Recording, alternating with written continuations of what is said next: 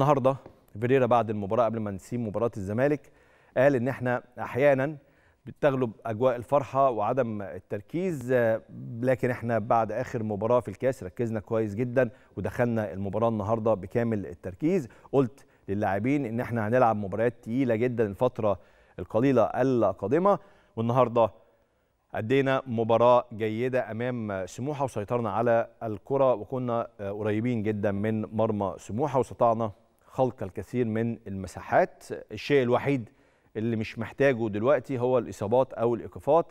آه وده إن شاء الله اللي هنشتغل عليه الفترة اللي جاية. لعبنا وقال كمان إن إحنا لعبنا بنظام مختلف واعتمدنا على اللاعبين الشباب والفرق الأخرى بتمتلك أكثر آه لاعبين جاهزية. إحنا ما عندناش لاعبين كتير جاهزين للمشاركة.